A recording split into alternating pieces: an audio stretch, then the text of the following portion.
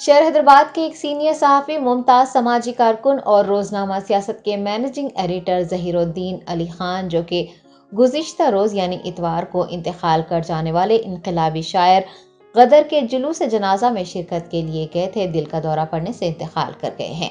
जहीरुद्दीन अली खान के अचानक इंतकाल पर सहाफ़ी, बरदरी, समाजी कारकुन और सियासी हलकों में गम की लहर दौड़ गई है। उनके पसमानदगान में दो बेटे और अहलिया शामिल हैं। वज़ीर अला तेलंगाना के चंद्रशेखर राव वज़ीर दाखिला Mohammed Mahmood Ali, A I M I M सरबरा, बेस्ट असदुद्दीन अवैसी समेत कई अवामी नुमाइंदों और समाजी कारकुन और सहाफ़ी बरदरी ने उनके इंतकाल पर गहरे रंज गम का इजहार करते हुए अफराद ख़ानदान को पुरसा दिया है। जहीरुद्दीन अली खान मुस्लिम कम्युनिटी में तालीम और बेदारी पैदा करने वाली अहम शख्सियात में शुमार किए जाते थे। उन्होंने तहरीक तेलंगाना से मुतल भी मुसलमानों में बेदारी पैदा करने के लिए अहम रोल अदा किया था। मरहूम की नमाज़ जनाजा, बाद नमाज़ फजर, पब्लिक गार्डन मस्जिद में अदा की जाएगी और तदफीन आखिरत मंजिल रूबरू दरगाह शाह खामोश रहमत नामपल्ली में होगी।